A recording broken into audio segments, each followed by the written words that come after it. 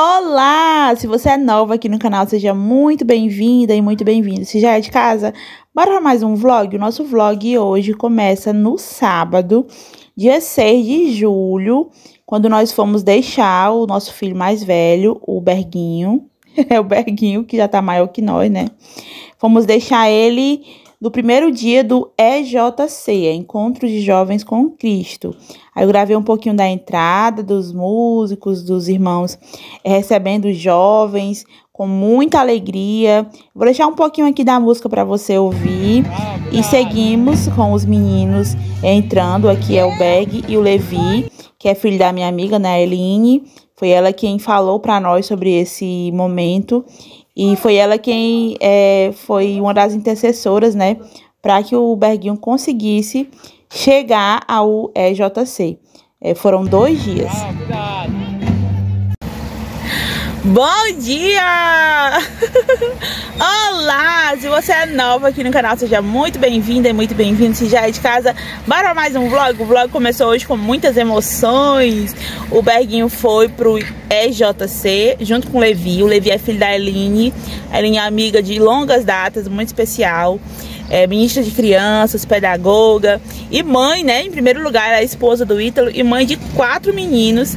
E hoje o mais velho da Eline, né? Que é o Levi e o Berguinho foram para esse momento tão especial que eu queria ter ido também.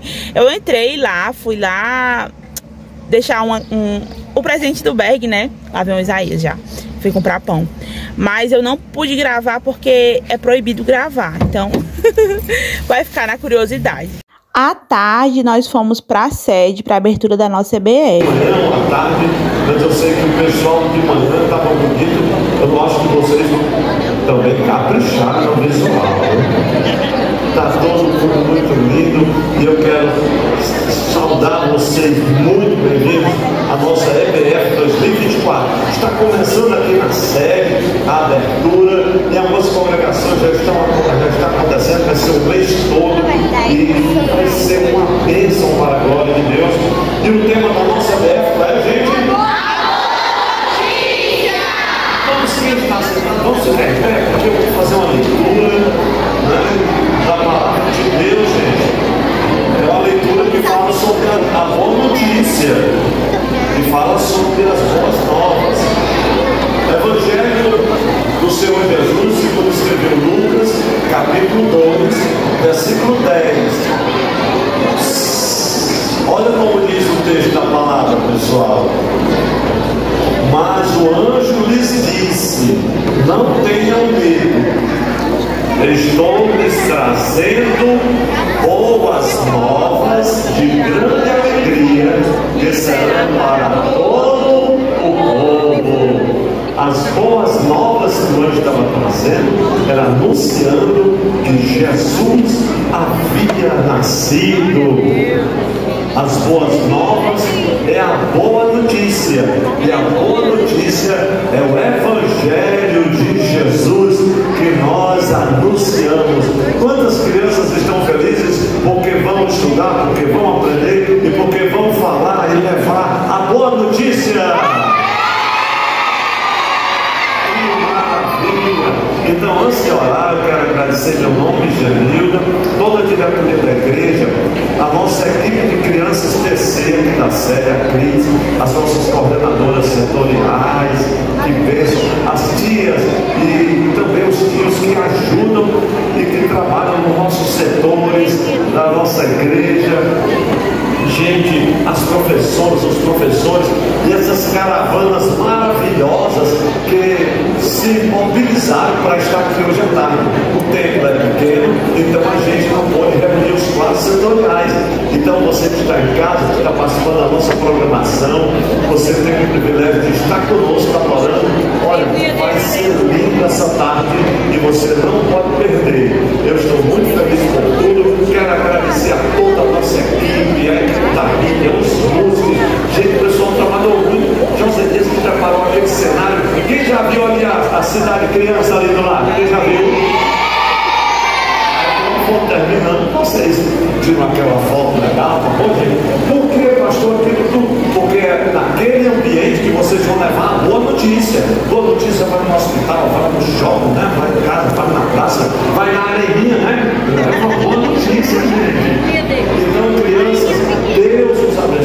Eu quero agora orar por vocês, declarando aberto a EPF 2024. Senhor, muito obrigado por mais um EBF, pelas nossas crianças, o futuro da tua igreja, por todos os papais e mamães, por toda a equipe preciosa que o Senhor nos tem dado, ó Deus, para trabalhar nessa EBF. Senhor, para fazer esta as crianças, Senhor, eu te peço que os abençoe rica e poderosamente, guardando as crianças da tua igreja, Pai, abençoando o teu povo e a programação nessa tarde, que seja para a honra e glória do teu santo nome. Abençoe a EBF na sede, em todas as congregações, onde as crianças forem entrar e saírem, que sejam protegidas e guardadas por tua forte e poderosa mão. Pai, eu oro e confesso e agradeço em nome de Jesus. Feliz EBF 2024. As crianças dizem.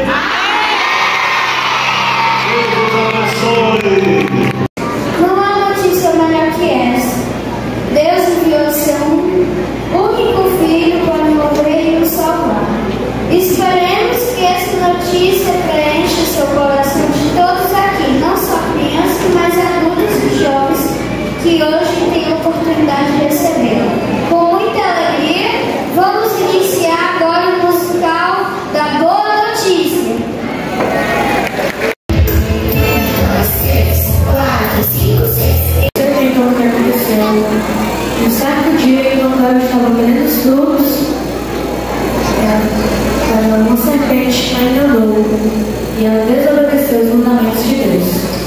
Isso mesmo, Eva preferiu acreditar no que a serpente falou do que no que Deus tinha dito para eles.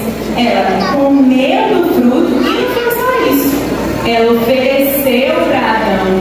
E foi assim que o pecado chegou no mundo. E aí, quando foi de tarde, quando Deus foi visitá-los no jardim do Éden, eles já não eram mais os mesmos. Eles estavam envergonhados e o pecado já tinha entrado no coração deles. Imagina como deve ter ficado o coração de Deus. Que triste. Pois é, meu Deus. Quando nós erramos, nós pecamos. E não adianta a gente achar que pode se esconder de Deus, a gente pode estar longe do nosso pai, da nossa mãe, da professora, do pastor, viu, Mateus? Ele vê tudo, ele conhece o nosso coração, os nossos pensamentos, não dá pra esconder de não. Eita, tia Mari. E se eu errar? Calma, Mateus, Deus é nosso amigo. Ele sabe que depois que o pecado entrou na terra, nós somos fracos às vezes. Tem uns até que são mais, sabe, Mateus? O Senhor é que nos fortalece, Mateus. Ele nos ama e nos perdoa. Ele está sempre pronto a nos perdoar. Mas, para me entender bem, o que acabou de explicar, porque eu sempre ficou de coração, é difícil de entender.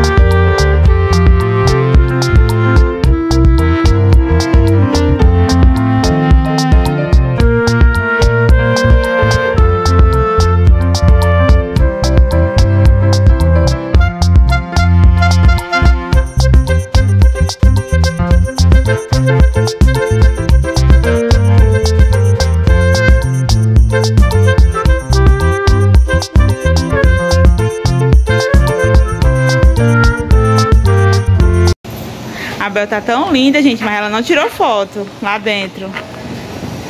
Olha como o cabelo dela tá bonito hoje. Tu tirou, eu tirei um monte de foto tua. Não, Tirei! Tu jogou bola, tá suado. eu quero isso aqui de dentro. O bag chegou, gente. Olha aí, ó. Eu Camisa nova. Eu queria ser o bag. Você vai na sua vez, depois, quando você crescer. Ninguém dá uma coisa pra mim. Agora a gente fica feliz com o irmão. Tá- Tava com saudade do irmão? Um batalhão de urso aqui.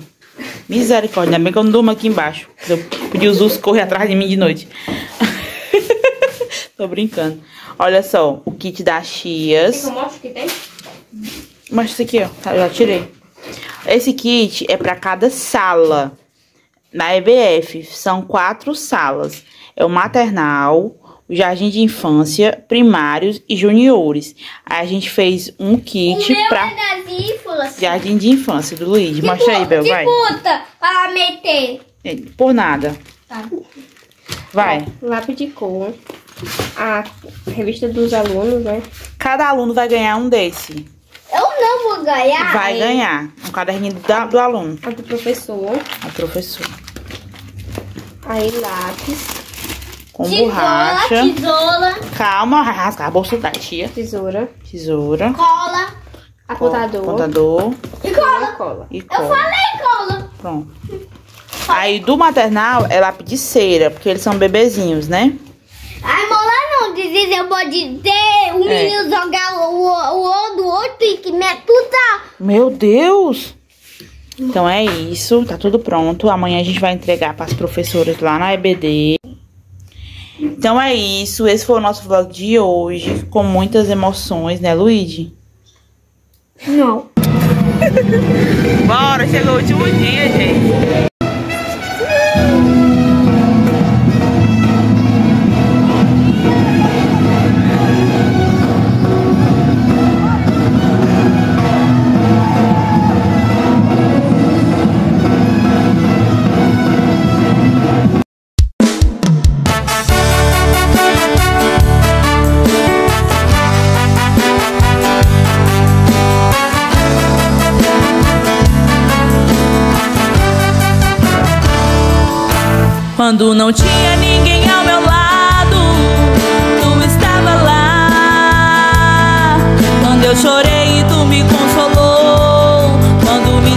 Sozinho, tua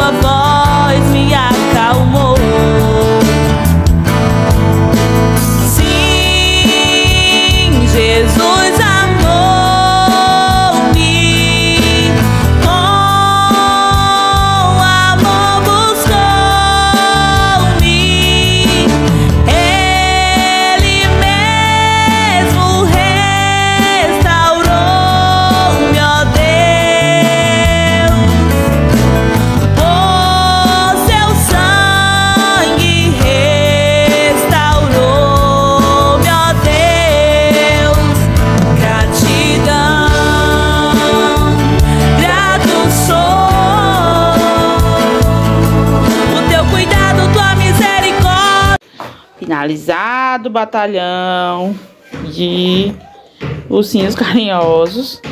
Já estamos aqui na organização do próximo, dos próximos pedidos aqui é o da EBF e aqui é um outro pedido que já está ali também.